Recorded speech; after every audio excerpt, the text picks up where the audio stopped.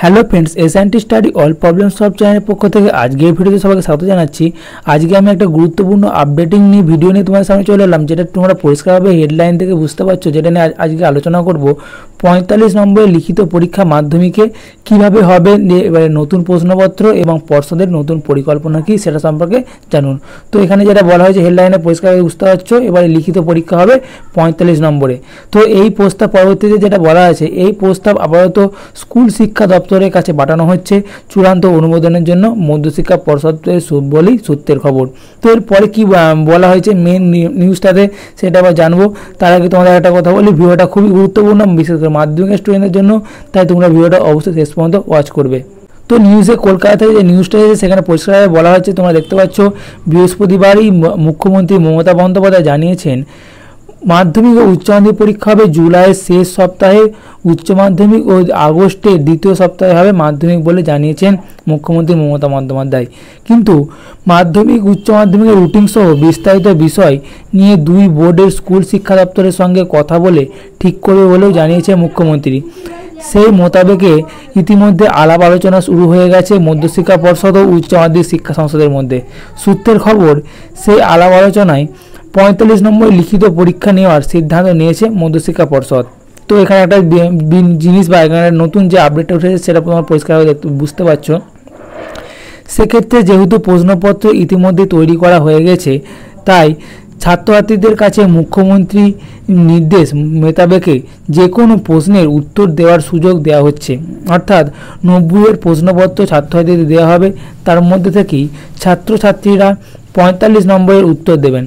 এবং এই প্রস্তাবে আপাতত স্কুল শিক্ষা দপ্তরের কাছে পাঠানো হচ্ছে চূড়ান্ত অনুমোদনের জন্য মধ্যশিক্ষা পর্ষদের সূত্রে এই খবর। তো এখানে তোমরা বুঝতে পারছ যেটা নব্বই নম্বরে তোমাদের যে কোশ্চেন পত্র থাকবে মাধ্যমিকের সেটা হচ্ছে নব্বই নম্বরে, তবে এটা চূড়ান্ত আপডেট নয়, এটা এটা নিয়ে আলাপ আলোচনা চলছে। নব্বই নম্বরে তোমাদের প্রশ্নপত্র থাকতে পারে এবং যার মধ্যে তোমাকে অ্যান্সার দিতে হবে পঁয়তাল্লিশ নম্বরের। তবে পরের যে নিউজটা বলা হয় সেটাকে চলে আসছি। তবে উচ্চ মাধ্যমিকের নম্বর বিভাজন কি হবে তা নিয়ে এখনও পর্যন্ত চূড়ান্ত সিদ্ধান্তে আসতে পারেনি উচ্চ মাধ্যমিক শিক্ষা সংসদ সূত্রের খবর। তো সূত্র মারফত জানা গেছে, গুরুত্বপূর্ণ বিষয়গুলি পরীক্ষা নেওয়ার দিকে এগোচ্ছে উচ্চ মাধ্যমিক শিক্ষা সংসদ। সেক্ষেত্রে পরীক্ষা থেকে বাদ পড়তে পারে একাধিক বিষয়। Psychology anthropology agronomy environmental science of health education of physical education music visual arts sociology Persian Arabic French home management এবং এই বিষয়গুলির ওপর পরীক্ষা নাম নেওয়া হতে পারে। যেগুলো আর কি অতটা গুরুত্বপূর্ণ নয়। এগুলোর ক্ষেত্রে এক্সাম নাম নেওয়া হতে পারে এরকম একটা সূত্রের খবর যেটা উঠে আসছে। এবং সেক্ষেত্রে স্কুলের প্রাপ্ত নম্বরের নিরিখে এই বিষয়গুলিতে নম্বর দেওয়া হবে। এবং এখানে তার মানে তোমাদের স্কুলের স্টুডেন্ট টিচাররাই এখানে তোমাদের প্রাপ্ত নম্বর দিয়ে দেবে। তোমাদের আগে প্রজেক্টের ওপর নির্ভর করে।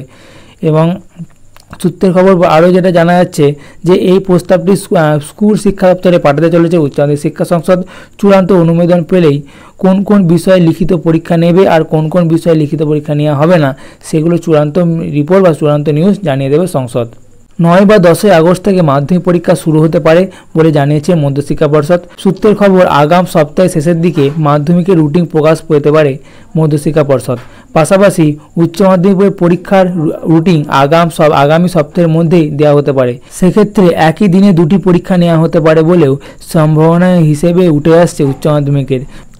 যদিও এই বিষয়গুলি নিয়ে মধ্যশিক্ষা পর্ষদ ও মাধ্যমিক শিক্ষা সংসদের অধিকারিকদের কোনো প্রতিক্রিয়া পাওয়া যায়নি এবং তার সাথে চূড়ান্ত আপডেট আর এটা চূড়ান্ত নিউজও নয়। সেহেতু এখন নির্দিষ্ট করে কিছু বলা যাচ্ছে না। তবে তোমরা এই জিনিসটা অনেকটা ধরে নিতে পারো যে তোমাদের যেহেতু অনেক রকম এই এই সিচুয়েশন প্যান্ডামিক সিচুয়েশানে কোনো রকম বিভিন্ন রকম ছাড়ের ব্যাপার থাকতেই পারে। সেই হিসাবে তোমাদের এক্সামটা পঁয়ত্রিশ নম্বরের মাধ্যমিকের হতেই পারে এবং উচ্চ মাধ্যমিক স্টুডেন্টের ক্ষেত্রে ওই সমস্ত এক্সামগুলো না নেওয়ার কথাই ভাববে। কেননা এখন কোভিড সিচুয়েশনে যতটা পারা যায়, বিষয়টাকে ম্যানেজ করে নেওয়ার চেষ্টাই করবে পশ্চিমবঙ্গ মধ্যশিক্ষা পর্ষদ বা শিক্ষা সংসদ। তো এই ছিল আজকের যে আপডেট বা আজকের নিউজটা দেওয়ার। আশা করি বুঝতে পারলে আজকের আপডেটটা খুবই গুরুত্বপূর্ণ ছিল মাধ্যমিক, উচ্চ সকল স্টুডেন্টদের জন্য। আশা করি বুঝতে পারলে কি বলতে চাইলাম। এবং এর পরের চূড়ান্ত নিউজটা কি উঠে আসছে তোমাদের কাছে, সেটা জানার জন্য অবশ্যই আমাদের এই এস স্টাডি অল প্রবলেম সব চ্যানেলটাকে সাবস্ক্রাইব করে কারণ পরবর্তীকালে যে চূড়ান্ত নিউজটা উঠে আসবে, সেটা সম্পর্কে অবশ্যই তোমাদের কাছে ভিডিও ভিডিও তোমাদের জন্য অবশ্যই একটা ভিডিও বানাবো। তার জন্য তোমাদের, তোমরা অবশ্যই যারা যারা এখনও আমাদের এই স্টাডি চ্যানেলের সদস্য হওনি, তারা অবশ্যই আমাদের এই চ্যানেলটাকে লাল রেড কালার সাবস্ক্রাইব বাটনে ক্লিক করে আমাদের চ্যানেল চ্যানেল সব সদস্য হয়ে যাবে এবং যদি ভিডিওটা ভালো লাগে অবশ্যই একটা লাইক করবে। আর এই ভিডিও সম্পর্কে তোমাদের যদি কোনো রকম মন্তব্য করার থাকে, সেই ভিডিওটা কেমন লাগল সেই সম্পর্কে যদি তোমাদের কোনো রকম মন্তব্য করার থাকে, এবং তোমরা কী চাও পরবর্তীকালে কীভাবে মাধ্যমিক বা উচ্চ মাধ্যমিক পরীক্ষাটা হোক, সেটা কী চাও সেটা নিয়ে, অবশ্যই তোমাদের, তোমরা তোমাদের গুরুত্বপূর্ণ মতামত অবশ্যই আমাদের এই ভিডিওর কমেন্ট বক্সে অবশ্যই অবশ্যই জানাবে। তো আজকের মতো এখানেই গুড বাই